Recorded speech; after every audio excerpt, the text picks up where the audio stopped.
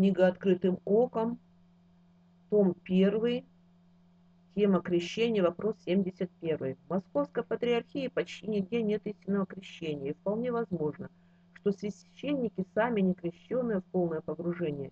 Если такой священник понял и правильно начал крестить в полное погружение, то будет ли такое крещение истинным?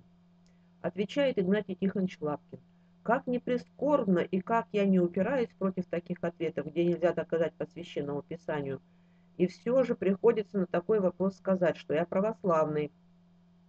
И доколе являюсь таковым не на словах, а на деле я многое принимаю в православии того, что мне не нравится, но этого уже не навязываю и не проповедую о том. Сошлюсь на доказательства Ф.Е. Мельникова скажут, что это нелогично. Здесь все-таки не так все просто, как кажется. Такие важнейшие таинства, как крещение, прообразованное в Ветхом Завете обрезанием, Бог не поставил в прямую зависимость от другого человека, но сделал так, что его можно и по нужде исполнить и не священнику.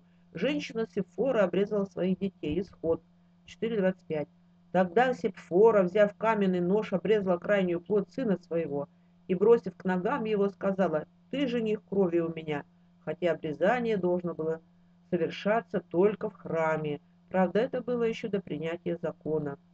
Так и крещение допускается не только мирянином, но и женщиной, только бы правильно были произнесены слова «это совершается только тогда, когда нет священника нигде, при, при великой нужде».